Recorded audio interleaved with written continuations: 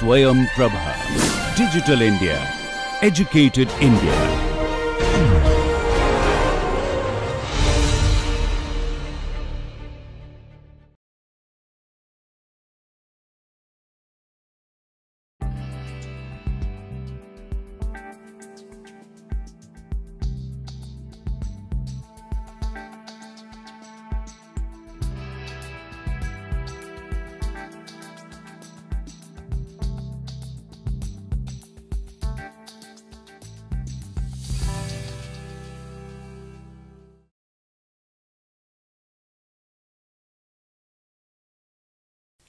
Welcome to the second lecture on Katherine Mansfield's Fly in Discourse on Gender and Literature. So in the first lecture, which was the introduction lecture, the introductory lecture for this particular text, we talked about uh, the political and cultural conditions which produced this text. So obviously it's the First World War uh, short story. And so we talked a little bit about the demography of the First World War. We talked a little bit about the gender uh, reconfigurations after the First World War. So, you know, what, what were the major changes which were brought about, not just at the level of, uh, you know, demography, but also level of psychology, also level of gender locations uh, after the First World War, especially in Europe, because this is a text which is situated presumably in Europe. Uh, so we talked about how the entire idea of dominant hegemonic masculinity, uh, the construct of dominant hegemonic masculinity was completely changed after the First World War, uh, primarily not least because uh, the number of young men, uh, able-bodied, uh, healthy young men, dropped dramatically after the First World War. So most of the men who were there after the war were either old men who were too old to go to the war, or men who had been paralyzed or traumatized by the war, so non-healthy men. So the, the, the number of healthy young men dropped dramatically. And this particular text, short story, uh, is a very short short story. It's one of the shortest short stories you'll ever read. But despite its brevity, it's very, very intense and authentic in a way. It reflects this cultural condition after the First World War. And also we, we looked at the way in how uh, certain professions, certain occupations, certain uh, you know, public spaces opened up for the woman after the First World War. So if you look at any history of the World War, uh, we find uh, from the lenses of gender studies, you find that after the World War, uh, we started having in Europe uh, women bus conductors, women bus drivers, women tram conductors, etc. Uh, the reason is obviously very simple. There weren't enough men available at that time. There weren't enough able-bodied, functioning men available after the First World War because of this uh, tremendous violence which the war uh, created. Okay? And also uh, the entire, uh, you know, we, we, talked about how, uh, a little bit about how the medical history changed after the First World War, especially the medical treatment of trauma changed after the First World War. So it moved away from the very materialistic model of electric shock and confinement and corporeal control to a more psychoanalytic model of treatment, which is obviously propounded by someone called Sigmund Freud, who, uh, as you know, uh, is a very important figure in literature because we have a lot of a very rich uh, tradition of criticism called psychoanalytic criticism, which is something propounded by uh, Freud. And he was actively interested in literature. He looked at literary texts like Hamlet, uh, David Copperfield, uh, Uh, which were used uh, as medical histories for Freud as well. So we, give, uh, we, we talked about this background, we talked about this condition, which created The Fly, this particular short story by Katherine Mansfield. And then we moved into the text and we saw how at the beginning of the short story, we have a very uh, particular and clear construct of hegemonic masculinity through the figure of the boss, you know, the, the, the unnamed figure, the boss. And we talked about how uh, the very title, the boss, the very construct of the figure boss uh, is authoritarian, uh, is pro-establishment. He is a patriarchal person, uh, sort of a phallogocentric person uh, who is very, very comfortable uh, in being in control, who enjoys entitlement, who enjoys privilege, who enjoys a position of authority. And that's how he opens up in the short story, in The Fly. And in complete contrast to that, we have a figure called Mr. Woodifield, uh, who we saw uh, in the previous lecture, uh, how he was increasingly infantilized. He's almost like a little baby. Uh, he can't control his nerves, he can't control his memory. He's someone who's controlled by his woman, his wife, and his daughters. And at this point in the short story, we, we notice how uh, the women in the short story seem to have more control than the men. Uh, and we, we talked about how the women, uh, they allow or don't allow uh, Mr. Woodifield to go out in the city to behave in a particular way. So they are in control. So they are the people who are controlling Mr. Woodifield, his behavior, uh, his movements, etc., primarily because he's a sick man. So Mr. Woodifield, uh, as an old sick man, uh, he represents to a great extent symbolically the decadent masculinity of Europe. And of course, we, we saw, we, we ended the first lecture at the point where there was a description of Mr. Woodifield's wife and daughters uh, going to Belgium to take a look at the grave of their son, Reggie. Uh, it was also mentioned how uh, the grave of Woodifield's son and the grave of the boss's son are very close to each other. Now, of course, the boss never mentioned his son uh, till this point in the short story, and we just had a very, very brief and quick glimpse, uh, you know, blink and miss glim, uh, glimpse of a little photograph of a boy in the boss's desk, a photograph which it does not draw the attention to of Mr. Woodfield. who does not want to show it off. But we saw a photograph of a young boy in a soldier's uniform, a grave-looking young boy in a soldier's uniform. And after getting a report of Mr. Woodfield and the way he described his wife and daughters having gone to see the graves of his boy, we get to know, we have the knowledge now that the boss's son too must have fought in the war and must have lost his life in the First World War, something that he doesn't want to talk about too much. Now, we ended the first lecture uh, in talking about travel, uh, war tourism, trauma tourism, uh, how an entire idea of going to see the graves of the dead people uh, it became a big industry after the First World War. And interestingly, uh, travel companies like Thomas Cook, they began to flourish after the First World War, uh, primarily because more and more men and women were interested to travel to see the, the, the last remnants of the young, of their loved ones, uh, the graves of the, last, of the loved ones, the people, the places where the people died. So those become, uh, became places of tourist interest after the First World War. So the entire industry of tourism, the entire industry of trauma tourism, it sounds a bit of an oxymoron, but that's the way we describe it, trauma tourism. Uh, it flourished. It sort of really came in in a big way after the First World War. And Woodfield's uh, wife and daughters, they embody, uh, as travelers, when they go to Belgium to see the graves of the sons, they embody this trauma tourism. They embody these tourists uh, who went after the First World War to, to take a look around the places where their loved ones uh, died right? So Woodfield talks about uh, how their wife and daughters went to Belgium to take a look at Reggie's grave, and Reggie's grave happens to be quite close to the boss's son's grave.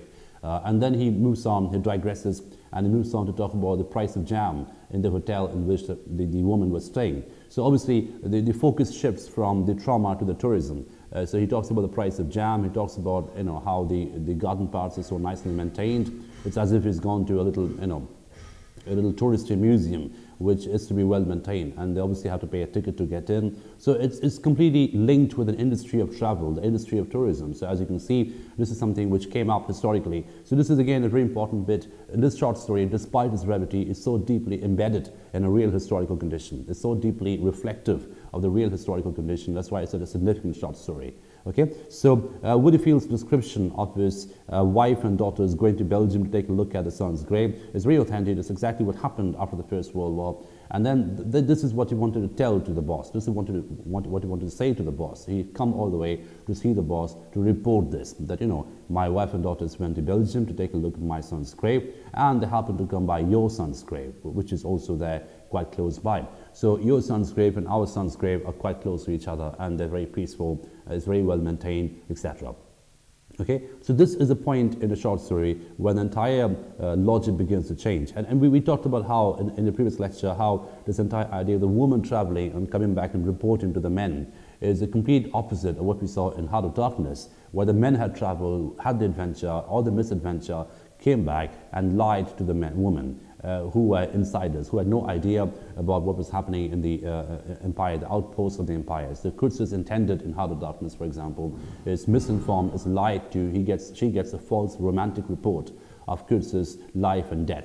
Uh, which she never gets to know because she doesn't, she must never know what really happened in the, in the colonies, in the uh, outposts of the colonies. In complete contrast to this, we have Woodfield's wife and daughters going to Belgium to take a look at the son's grave and coming back and reporting to the men. Uh, and then, of course, reporting also about the jam prices, about the price of hotels, about the nice broad garden parts, etc., which is a very touristy kind of a report. So the men stay back, the men are paralyzed to travel, they're too paralyzed to travel, uh, you know, they can't travel because of medical reason, they can't travel because of psychological reason, and it's the woman to travel, the woman to take control, the woman to decide, the woman to have agency after the First World War. So in a, in a very interesting sense, uh, I mentioned in the previous lecture how the First World War was an emancipation, was the beginning of the end of this phallogocentric, Eurocentric domination, right? So it's the beginning of the end of this phallogocentric control of women and the, and the non-white people. Right? So it's the beginning of the end of imperialism, it was the beginning of the end of patriarchy as we know it, as we knew it before that. So it was the beginning of the emancipation of women, it was the beginning of the freedom of the colonies, etc. It all began to take place after the First World War. So in that case, in that sense, the First World War may be regarded, quite rightly so, as a massive paradigm shift. Uh, in the masculinist economy, in the gender economy uh, that prevailed in Europe at that point of time. So The Fly by Katherine Mansfield is a very authentic, it's a very complex short story which deals with these topics, which deals with these themes. So we, we came to the point in the short story in the previous lecture where Woodifield remembered after having drunk the whiskey that the boss had offered him, he remembered what he had come to tell the boss, he remembered that what his wife and daughters had told him uh, about the son's grave, about the boss's son's grave, and he relayed the report to the boss. He said to him that, you know, your son's grave is very well kept, your son's grave is very well looked after. And then he asks this very innocuous question to the boss. You had never been uh, abroad, have you? You've never been there to see your son's grave, have you? And the boss just says no. And the narrative informs us, for various reasons, he had not been abroad. For various reasons, he had not been there. So, you know, we, we, get, we get a sense of this is perhaps getting a bit dark now. This is perhaps getting a bit uh, really complex now. So the story began in a very simplistic, binaristic kind of a way, where the boss was a typically manly man, where the boss was completely in control. The boss was someone who was, you know, he had, you know, a newly decked up office, a very phallic architecture in his office, uh, drinking whiskey, reading the Financial Times. So very manly metonymic signifiers of manliness. You know, whiskey, Financial Times. So you know, he's someone who is a complete no, uh, is a completely on the ball about finance, is completely uh, you know in control of his nerves. So he's drinking whiskey, which is a very manly drink. So everything was perfectly going for him in terms of his manly construct or the constructed manliness that he wanted to embody. Now, uh, this is the point in the short story where that begins to change when uh, you know, uh, Woodifield informs him about his son's death, uh, about his, reminds him of his son's death. Of course, he knows his son is dead, but he reminds him of his son's death and informs that the fact that you know, the son's grave is very well looked after in Belgium, very close to where Woodifield's, graves, uh, Woodifield's son's grave is. And then it departs. So Woodifield leaves the scene after having relayed this report to the boss. Okay? So the entire significance of Woodifield is very important in this short story. Uh, what is Woodifield doing? So Woodifield starts off as a, as, as, as a contrast to the boss, uh, as a construct of constru uh, contrast. He's the opposite. Uh, so he's very carefully constructed uh, as a contrast to the boss. Okay, so he's frail, he's old, he's wearing a muffler, he's enervated, he's completely exhausted, he, he's on his way out, he's completely you know, non, in, not in control. In other words, he's not really a manly man. In complete contrast to the boss, who really turns out to be a very manly man, turns out to be this, you know, really a stereotypically manly man who's drinking whiskey and reading the Financial Times. Now, uh, this was the initial purpose of Woodifield served in the short story. But then again, it gets more complex, as I said. So he remembers uh, the fact that you know, his son's grave was in Belgium, and so is his, the boss's son's grave, and it, and it tells that to the boss. And this is the beginning of the end of the boss's effort to construct himself as a manly man. Okay, so this report really, uh, you know, we, we, get to see the short story how this particular report really, uh, you know, collapses the constructed boss's masculinity. You know, it really begins to attack this entire idea of masculinity that he wants to embody so heavily, right, as a socially successful, emotionally successful, personally successful person, right? And this begins to give away with this particular report. So Woodifield goes away in the short story, having relayed this report to the boss. Now, as soon as Woodifield goes away, uh, the boss begins to crumble. So we see a, a, complete change in the short story where the boss travels from uh, solidity to fragility. And this is what I said, mentioned in a previous lecture as well. This entire story is about a, a transition, a shift from solidity to fragility. It's sort of moving away uh, into a fragile construct. Okay. Now, the moment Woodifield goes away, the boss, uh, you know, boss sees him out, comes back to his office, shuts the door, and then instructs that he is not to be disturbed.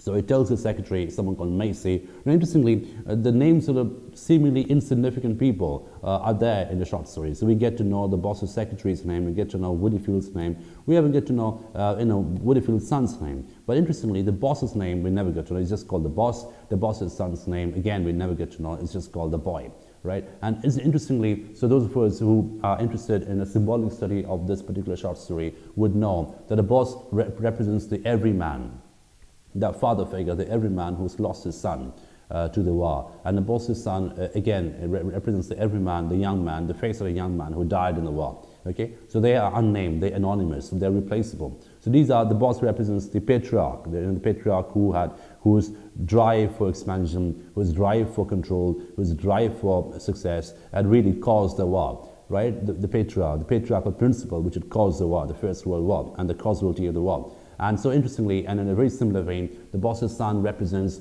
uh, the, the martyr, the, the, the, fodder who was sent out to the war uh, in order to satisfy the masculine's desire for expansion, for control, uh, for, you know, territorialization. And so his death uh, is a very symbolic death. His death is basically uh, a disruption, a destruction of this masculinist desire of territorialization and control. This entire masculinist hubris of expansion, territorialization, this megalomaniac uh, you know, desire for more and more success, etc., which was basically which caused the war right? So the boss represents the patriarch, the megalomaniac patriarch, whose desire for territorialization uh, is basically the driving impulse of the First World War. And the boss's son, who dies in the First World War, represents the martyr, represents the person who is sent off to satisfy the desire of the, of the, of the father, you know, to expand, to control, to territorialize. And so his death uh, embodies in a very interesting way, in a very symbolic way, the, the, the failure of this masculinist project, the, the monstrosity of this masculinist project. So in a way, and we mentioned this in the previous lecture, in a way, the entire story can be read as a feminist satire,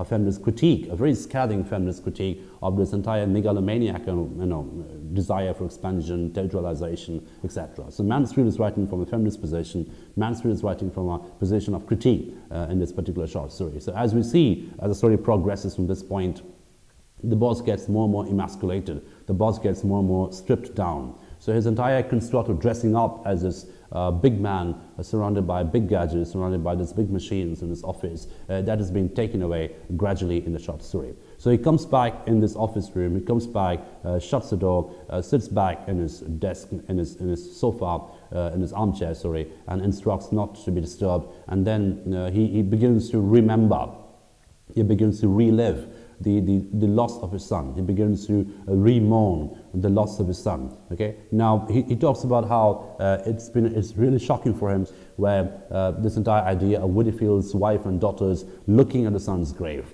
Uh, you know, he gets his image, uh, he replays his image in his mind, and that's a very disturbing image for him because uh, he feels as if the narrative tells us, he feels as if the grave has opened up and the boss, uh, uh, the son is lying inside the grave, unblemished uh, and Woodfield's wife and daughters looking at the dead son inside the grave. So this, again, this entire gaze uh, is reversed over here, as you can see. So it's a woman gazing at the dead man. It's a woman who is gazing at the powerless dead man right? So the entire uh, powerful man who's supposed to be gazing, who's supposed to be controlling, who's supposed to be uh, territorializing, who's supposed to be expanding, uh, etc.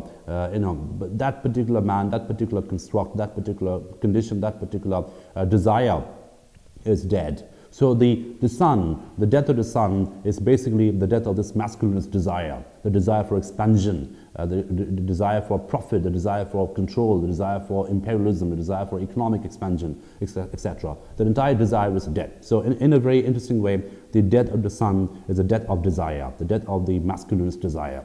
And this entire image of the, the, the image that boss has in his mind that the Woodfield's wife and daughters are looking at the grave and as if the grave is opening up and the son is lying in the grave helplessly and the woman is staring at him. So it's almost like a, you know, it's a castrating kind of a stare. It's a woman staring at a man who is now castrated, who is now emasculated symbolically, symbolically castrated, symbolically taken off, uh, you know, his masculinity is gone. So that kind of a stare, uh, that kind of a gaze is now given to the woman.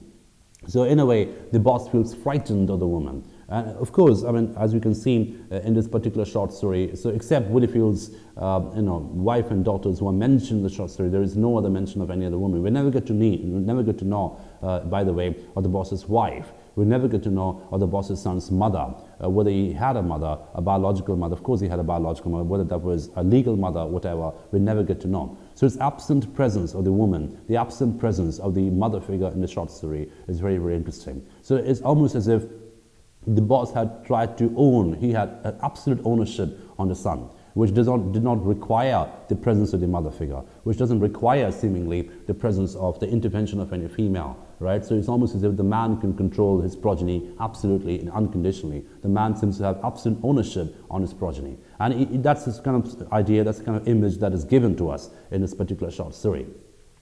And very quickly, we get to know that the boss had this enormous ambition for the son. Uh, the boss had this ambition that he has built his empire, and the word empire comes in the short story very interestingly. So his business, uh, you know, appears to him as an empire, and he sort of says that the entire idea was for the son to take over and carry on from where he had left off.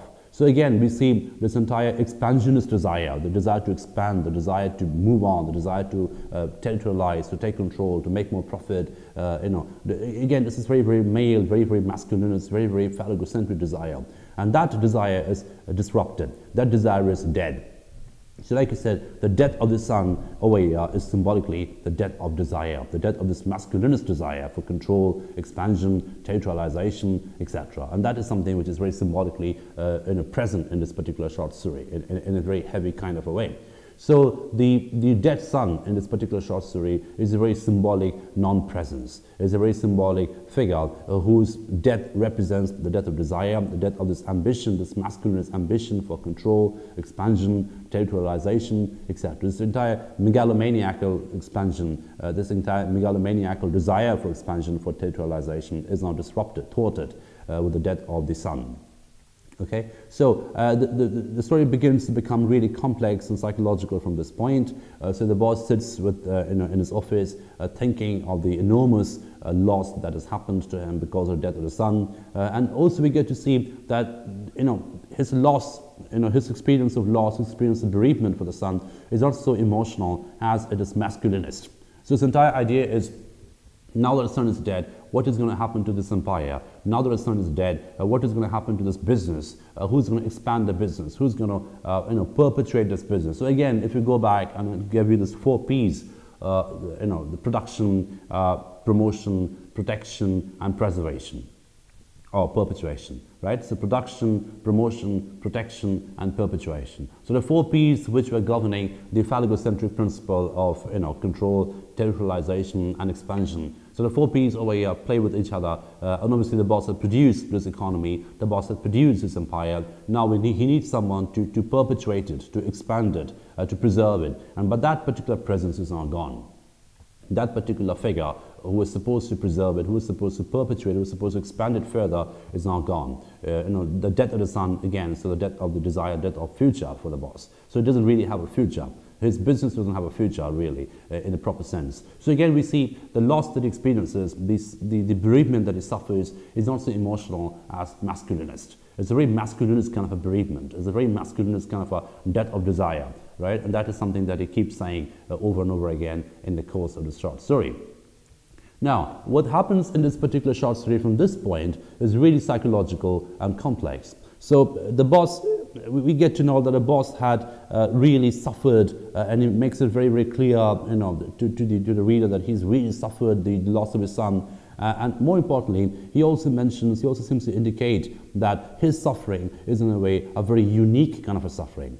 Right? It's something which is very unique, it's something which is very, very um, you know, special to him. Uh, because, you know, and that again, that is part of the hubris of the boss. You know, you, you know the meaning of the word hubris, it means false pride right? It's not just pride, it's false pride. A false pride which brings about a downfall of a particular figure. It's, it's a term from a Greek tragedy. Uh, so like peripeteia, uh, you know, hamartia, uh, hubris is a term which means false pride. It, it's something which uh, lots of epic heroes have, uh, which bring about the downfall eventually. So the boss in this particular short story, he has this hubris uh, of masculinist arrogance. He has this hubris of masculinist expansion and control. Now, his hubris extends to this point that he actually states that his suffering, his loss is unique, right? So the fact that he has lost his son is to be seen as a unique experience of loss. Now, the fact that millions of people lost their sons and you know, millions of people lost their loved ones in the war, uh, you know, doesn't occur to him. So that's unimportant, that's reductionist, that's redundant to him,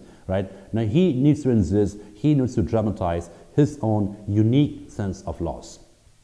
Okay, and it tells you, it tells the reader quite clearly, uh, and the narrative also informs us that uh, you know he has refused to move on, right? He has refused to reconcile to the fact that his son is dead. So he is not someone who is going to move on from the sense of loss because his loss is unique. His sense of loss, his sense of bereavement is so special, it's so unique that other people might move on, other people might live the loss down, but not he. And it actually says these lines do appear in the short story if you read it. Uh, other men might live the lost down, uh, but not he. How is it possible? His entire life has no meaning except for the son. Okay? Uh, and so uh, we, we get to know the picture, we get to see this flashback narrative where we, we, we are shown how the boss and the son would travel together in a train every single day how the son was picking up uh, the, the tricks of the trade very, very quickly. He was becoming popular with the uh, people in the office. Everyone had a good word for him, and he had this boyish charm and would say simply splendid every time something happened. So this entire idea, of this entire masculinist construct of the son is very uh, subtly and very skillfully given to us. So he's this boyish man who is about to become a real man, and the boss is sort of training him. The boss is basically uh, taking him in into his fold and you know masculinizing, masculinizing him in a way. So he sort of he was about he was on the cusp of uh, boyhood and manlyhood, and he had this boyish charm of saying simply splendid about anything. Whenever he was happy, he would just say simply splendid. Again, it's very very boyish. But he was learning the trade very very quickly. He was very quickly becoming manly. He was very quickly becoming a good businessman right, who would fit in perfectly, who would fit into the T to the, to the point where the boss had left off. You take it off from there and you expand it infinitely ad infinitum, uh, and the boss's empire would be in safe hands. Where this was a point where he was summoned where, by the war, he was sent off to the war, and then the boss received a telegram one fine day which mentioned, We deeply regret to inform you, and that was the beginning of his end, the death of the son, which was not just the death of a human being, but also, more importantly, the death of desire. And it's something I want to emphasize, the, the death of desire for the boss. His desire for expansion, territorialization, profit making, all this desire, this entire network of desire comes to an end, a very dramatic end, uh, with the death of his son. Okay? So this was the entire symbolic significance for the son's death. Now, Attached to this, attached to his uh, you know, incessant need to feel privileged and authoritative uh, and special, uh, is also the fact that how he makes this uh, sorrow very, very privileged, how he makes his loss very, very privileged. He actually says that, that other men would live their loss down, but I would never live my loss down because you know, my son is a very special son. It's my son. So this entire narcissistic principle that he attaches, this entire narcissistic desire that he attaches to even his loss, is something almost pathological. It's this ego, this entire self-inflated ego, this entire self-inflated narcissism, which again is very masculinist, is now attributed even in its loss. So he actually says that my, my experience of loss is so special, so unique, that it can never be recovered from. It can never be uh, moved away from. I can never move on uh, from the sense of loss, from the sense of sorrow, from the sense of you know, uh, bereavement that I've just suffered with the death of my son. Okay, so at this point in the short story, uh, things get really uh, psychological, you know, neurotic, hysteric. Okay, and I use the word hysteric quite, quite carefully over here because, as you know, uh, the entire construct of hysteria, medically uh, and culturally, uh, was attributed to the female, right, to the woman. So, uh, very stereotypically, this very sexist kind of a um, you know division line between men and women uh, was spilled. This sort of spilled over also in, the, in a realm of diseases, in the realm of medicine, whereby hysteria was a female malady.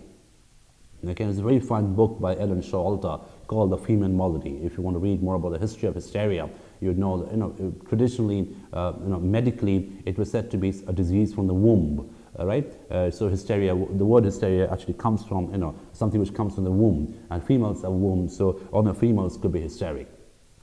Hysteria, or in other words, the, the loss of emotional control, the loss of nervous control, the loss of rational control uh, was supposed to be a very female condition, right? Because rationality was male, right? Logic was male, uh, you know, control was male. So any, any deviation, any departure from this constructs would be automatically classified as female, right? So hysteria was a female malady. Hysteria was something which happened to women alone. And this is the point uh, in the short story where we, we, get to see how hysteria is sort of reconfigured uh, in this particular context and it becomes, in a very interesting sense, it becomes masculinist.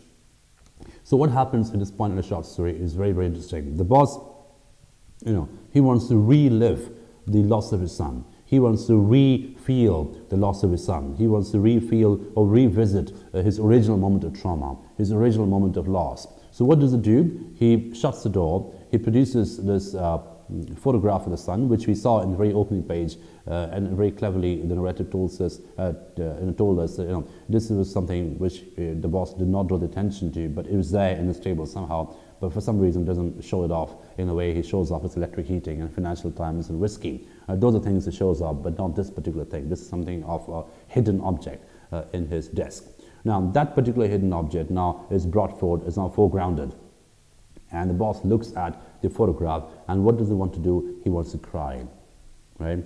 Uh, he wants to, uh, so this has been years after the death of his son, four years have passed, uh, you know, but he still wants to cry. He still wants to relive or revisit or re-experience the original moment of loss.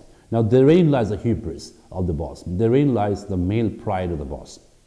Now, interestingly, the male pride at this point is equated with the ability to be hysteric. Now, it's really complex because, as I just mentioned, the hysteria is traditionally a female malady, but the boss wants to feel special, not just in his social position, but also in his grief. So he says he wants to prove to the world and to himself, more importantly, that he can still cry, he can still be hysteric even after four years after his son's death. Right? So, in, in other words, his masculinity now is mediated or is determined by his ability to be hysteric.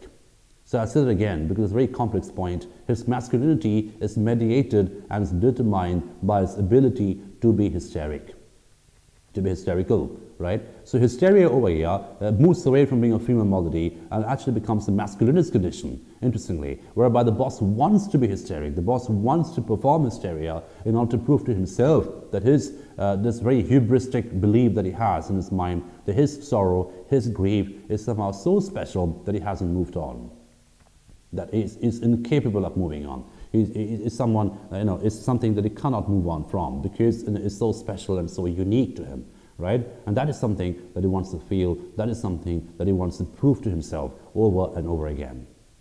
And that's the reason why this particular short story gets really complex because it conflates the different gender dynamics over here. So, in order to be manly over here, you just don't have to be rational. You just don't have to be unemotional. In order to be manly over here, you must also be, be able to perform hysteria. Now, I use the word perform quite interestingly because that takes us back to, if you remember, to our original reading of performance and performativity, uh, how you're trying to produce an effect. You're trying to produce a spectacular effect. Uh, and in the case of the here, uh, the spectacle is something that he wants to consume.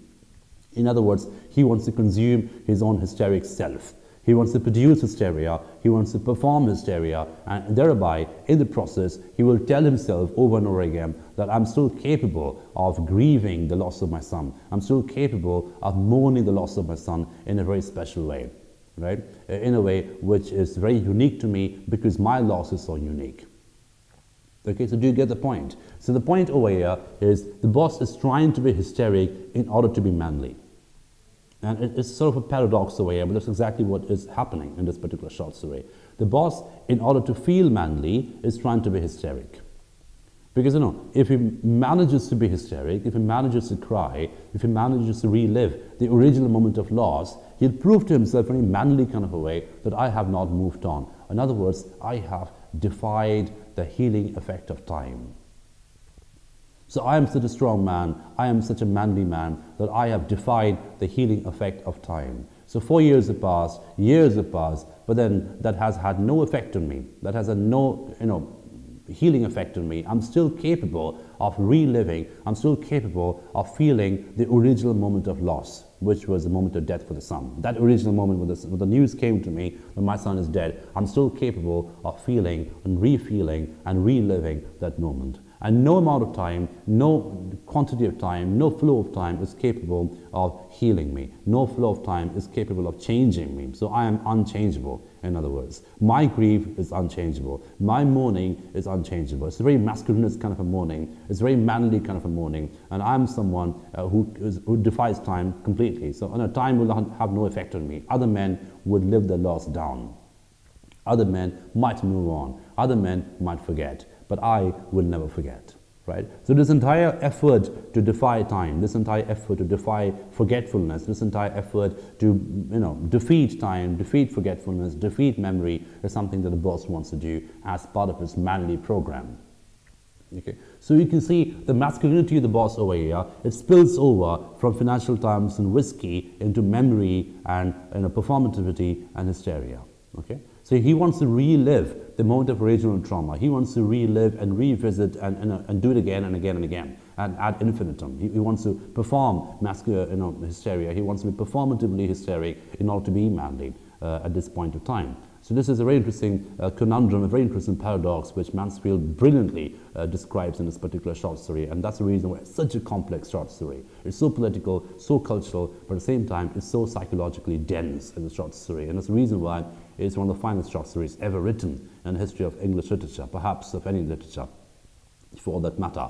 Okay, so this is the condition that a boss finds himself in. This is the condition that a boss uh, is trying to relive. He, he, wants, he wants to shut the door, uh, shut off from everything and cry again, right? Relive the original moment of trauma. But of course, when he tries to cry, he cannot cry. So very clearly, it, it, it is revealed to us the boss cannot cry. He tries again. He says, My son, groaned the boss, but no tears came yet. So, you know, this is the beginning of the end of the boss. This is the beginning of the end of his hubris, in a way. So he had very hubristically declared to himself, to the world, that he can never live his loss down. He can never move on from his loss. But here he is, uh, trying to cry, but realizing that he has to, whether he wants to, wants to or not, he has to been forcefully, you know, been forced to move on by time. So time too has healed him, in a way. Time too has made him forget the original moment of trauma. So he just sits there very, very puzzled. He just sits there very, very you know, helpless and doesn't know what to do. He's trying again and again uh, to perform hysteria. He's trying again and again uh, to relive the moment of original trauma in order to make himself feel very special, but he cannot do it. So at this point of the short story, we have what we call the fly episode in the short story. And interestingly, the name of the story, story is The Fly. And again, it's a very psychological episode where we see the boss doing something very, very psychological and very complex. So the entire episode, the Fly episode, is an example of what we call sadomasochism. It's a combination of sadism and masochism. So sadism, of course, as we know, is the pleasure someone derives by torturing others. You know, it, is, you know, it touches someone verbally, physically, in whatever form, and derive pleasure out of it. So it's very complex. It's, it's, it's a, uh, you know, um, almost a sickly condition of imagination whereby you get a satisfaction by seeing someone suffer. That's sadism.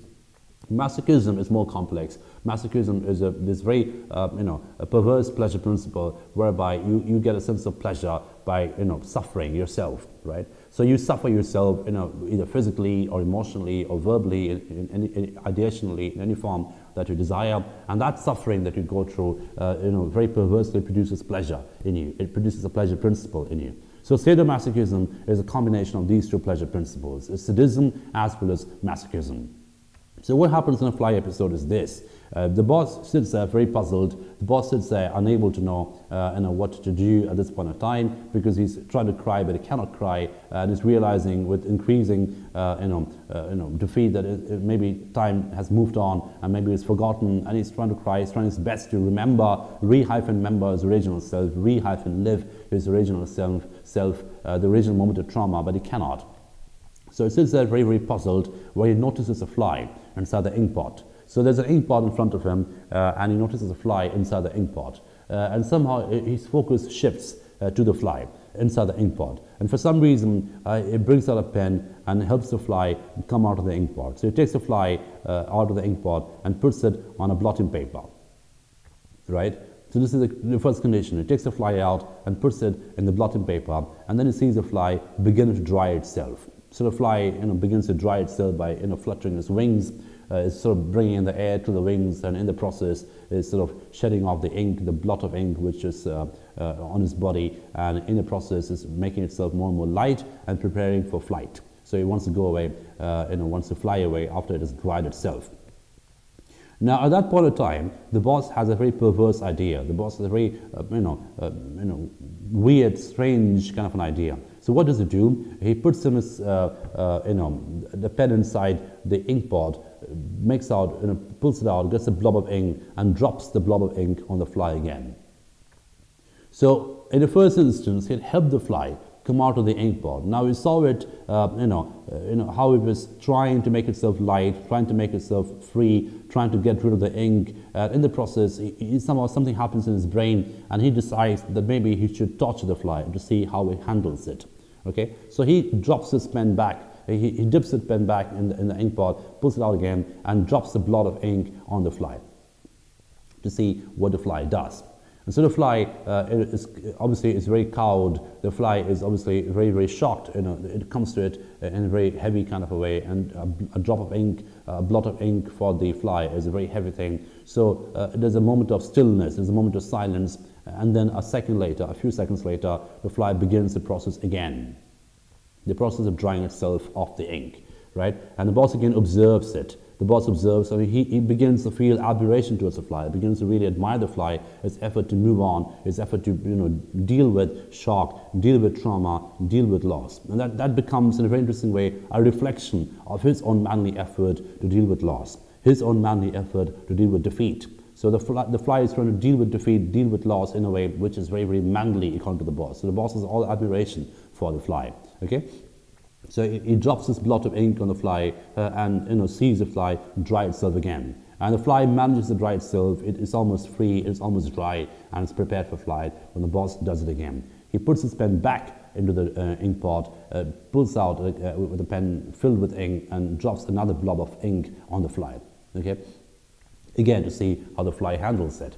And the fly, uh, you know, is obviously getting weaker with time because, you know, the process of drying is a very uh, heavy process, it's a very muscular process, and it's taking a toll on his uh, ability, it's taking a toll on his, uh, you know, physicality. So the fly is getting weaker, the boss can notice it. So the process began again, but this time more weaker than last time, this time weaker than last time. So the, the fly begins again very laboriously, uh, you know, drying itself. Uh, and the, the image that we have in this particular section is a very interesting image, is the image of a skite going under a stone right? So we have this stone and skite symbolism by the process of which someone is trying to pull a stone up, a very heavy stone up, uh, you know, by pushing a skite into it. And this particular image, the skite and a stone image, uh, obviously reminds us uh, of the Sisyphus image. You know, in the myth of Sisyphus, S-I-S-Y-P-H-U-S, Sisyphus. So the myth of Sisyphus is a very important metaphor which was made famous. Uh, obviously, it's originally a Greek myth, but it was made famous later by Albert Camus uh, where he talks about the Sisyphus being uh, a metaphor for the purposelessness of man, the pointlessness of man. So the Sisyphus image is an image of someone who's doomed to push a stone up a hill uh, with just with the knowledge that the stone will you know roll back again uh, down the hill and you'll have to push it up again and then the entire process will continue ad infinitum. So again, the Sisyphean image is an image of futility, as an image of purposelessness, an image of pointlessness, an image of defeat. So this entire skite and stone image that Mansfield brings in very, very skillfully at this point in the short story is a reminder of the Sisyphean image. So the fly is trying its best uh, to uh, you know, dry itself, uh, to recover from the shock, to recover from the blow that the boss is giving it, uh, and then you know, it's trying very hard, this time more weakly than the first time because it's getting weaker physically, uh, to move on uh, and to deal with defeat, to deal with trauma, to deal with loss. Okay, so the boss again looks at the fly uh, and he's again his admiration grows and he, he actually says, "You artful little bastard." Right, and, and the word over here is very interesting. He doesn't say the word bastard, but you artful little bee, which obviously uh, represents, or the, the word he wants to say is that. But the point is, it's a very manly way to admire someone, right? It's not, uh, it's not something which is very affectionate. It's not something which is very emotional. It's a very manly, butch kind of a way. You know, I use the word butch uh, in a very manly, masculine studies kind of a way. It's like a strong man admiring another strong man because of something muscular that is happening, because of something really macho that is happening at that point of time. So the flyover here uh, represents or reflects to the boss his own entire masculinist principle of dealing with trauma, dealing with loss, dealing with defeat. Okay. So the second time too, the fly manages to dry itself, and the boss has this idea that maybe he should do it one more time, one last time. And the boss dips his pen into the ink pot, takes it out, and drops another blob of ink on the fly. And this time, the fly does not move. The fly is dead. Now, in the previous section, uh, in, in previous uh, you know, episode where the fly was drying itself the second time, the boss had actually breathed on it in order to help the drying process. So that is the reason why I mean, when, when, when, this is what I mean when I say this is a sadomasochistic process. So in a way, the boss is getting pleasure by seeing this fly suffer. is getting pleasure by seeing the fly you know, really being tortured. But on the other hand, he wants the fly to win. So he's actually helping the fly in the drying process. He's breathing onto it in order to help the drying process. But at the same time, he is dropping the blot of ink on the fly in order to make it suffer. So it's sadomasochism. So the fly is both the other as well as a self for the boss. So the fly is both the fly for the boss as well as his own reflection of his own self, his own effort to move on, his own effort to reconcile, his own effort to deal with trauma, violence, and loss.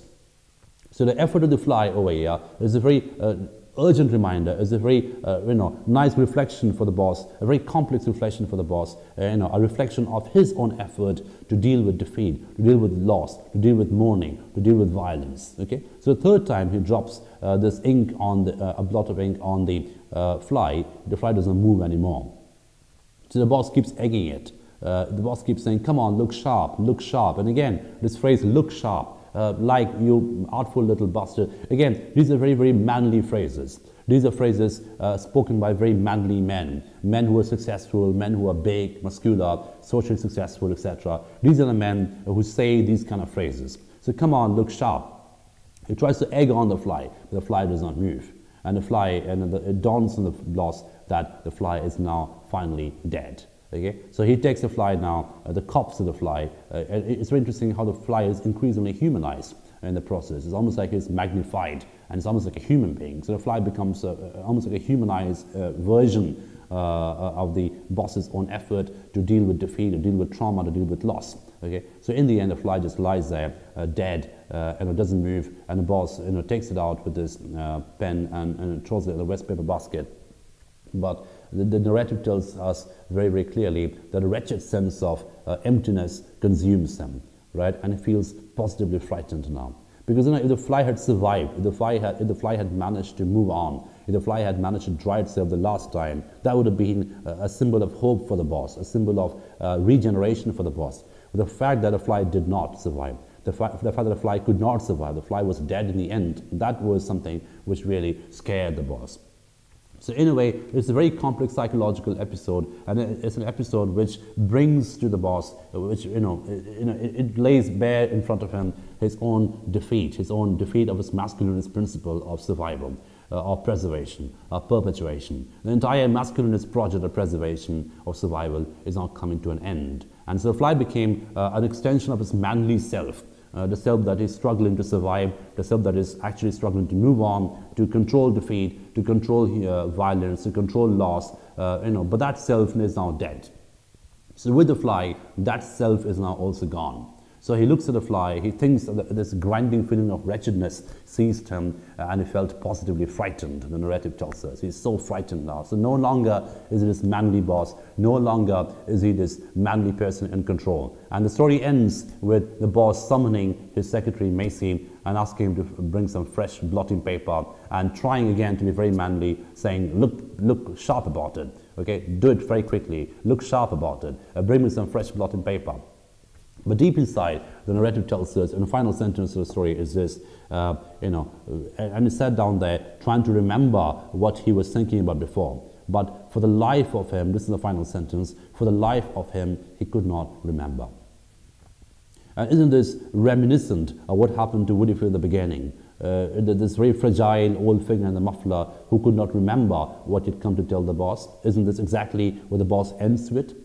So isn't this, this sort of a bit of a conflation of the two extremes? So the, the story had opened, you know, uh, with like Boss and Woodifield as two complete contrasts to each other in a masculinity map. The boss is solid, robust, healthy, and Woodifield is feeble, emasculated, infantilized. But the story ends with the conflation of these three opposites. So the boss ends up being Woodifield. The boss ends up being completely uh, emasculated. The boss ends up being completely enervated, exhausted, and it doesn't quite know how to deal with things anymore. For the life of him, he could not remember. So he cannot remember what happened to him. He cannot remember what he was thinking of. He cannot remember what he had in his mind before the fly episode. So with the fly episode, with the dead fly, what also dies is the boss's manly, rational, controlling self. So that gets his final defeat. That is actually finally killed in this particular process, this entire sadomasochistic episode, which, the, which is paradoxically authored by the boss himself right? He is the author of this particular episode. So he, in a way, uh, annihilates his own manly self. right? So uh, prior to that, we have seen how this manly self had desperately tried to cry, tried to be hysteric in order to prove to itself that it is still fresh. The wound that he has in his mind of the, of the son's death is still forever fresh. It will remain forever fresh. And that too was defeated. He could not cry, as we could see. He tried many times to cry. He was trying to perform hysteria. He looked at the photograph several times, tried to evoke, tried to generate tears, but tears did not come. So, and then he moved on uh, to this fly episode. He wanted the fly to suffer, but at the same time, he wanted the fly to win by dropping blots of ink on it. And in the end, the fly too could not manage it anymore, and it lay dead in front of him. So the death of the fly again is a very grim reminder of the death of his own project, this, his entire uh, preservation project that he had in his mind. So the story ends uh, with this feeling of emptiness, a feeling of nothingness that the boss sits down with right? So he sits down with the feeling of nothingness, uh, which, you know, you know, wretched feeling of nothingness, which sees him, uh, it, it, consumes him completely, and he feels positively frightened. It says, you know, he feels really, really frightened, that he doesn't know what to do. He's got no future ahead of him. He can't remember anything. So in a way, he becomes quite literally a timeless man. And I use the word timeless here, uh, not in a positive sense, but in a very uh, nihilistic sense. Uh, he becomes something which is completely annihilated by time. So this is the revenge of time, as you can say, uh, because you know, uh, for a long period of time, the boss had defied time. The boss had said, "I'm not going to be affected by time. I'm not going to be affected by the healing power of time. I'm someone who's, you know, beyond the power of time. I'm, I'm going to be unaffected completely by any effort of time. Uh, I'm going to have my own experience of loss, and it's going to be forever fresh in my mind. That's never going to change in my mind. But now we see time has come back and avenged itself on the boss. So in a way, he can't remember what he was thinking of before. He doesn't have a future in front of him because the son is dead. So he becomes quite literally a timeless person. He's someone who is, quote unquote, liquidated by time, emptied of time, right? So he becomes a timeless person in that sense of the word. And that's the reason why the story becomes so grim and dark in the end. So as you can see, uh, the entire story can be read very, very, it's a very fertile uh, text for gender studies and literature It is how one particular constructed masculinity is coming to an end. This entire hegemonic masculinity which the boss wants to embody is coming to an end and we find the woman in the particular short story, they get more agency, they have more power, they have more mobility, they have more financial agency, they move, they travel, they see the son's graves, come back and tell the, uh, the, the, the, the old fathers who are either psychologically or medically unable to travel to the site of loss, uh, and they're the ones who are in control. And it's the fathers, the phallogocentric patriarch, who are actually dying in this particular short story. So symbolically, the boss is dead by the time the story ends. And so he just sits there, unable to remember anything. Uh, so again, the shift has been from solidity to fragility, as I mentioned. He sits down there like a fragile figure, right? Someone is unable to think, unable to remember, unable to envision any future. So he represents that particular scene, that particular ending represents uh, a bit of a death of that phallogocentric principle that the boss had desperately tried to embody through his social success, through his professional success, through his son, through his emotional control. But now that particular construct is now clinically died, like that of the fly. So fly is dead, and so is the boss. This entire idea, this entire manly image of the boss that he wanted to project to the world and to himself is now finally dead.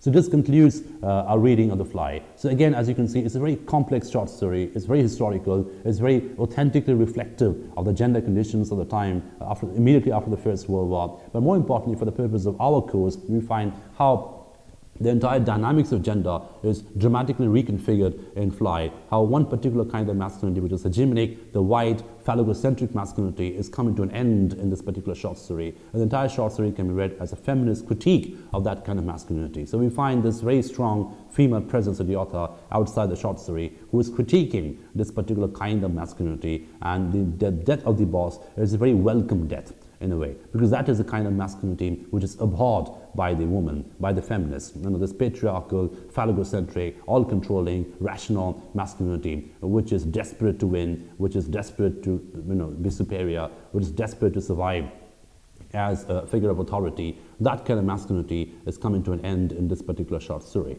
So this short story, historically, ideologically, culturally, uh, is a very interesting pointer to this uh, dynamic of gender change which happened after the First World War, how the dynamics of gender change, how you know, the gender locations change, how the, um, the agency, the relation between agency and gender was dramatically reconfigured after the First World War. We get all that, uh, we get a sense of all that in this particular short story, which again is deeply historical, but also purely as a literary text, a level of craft, is a really, really sophisticated text.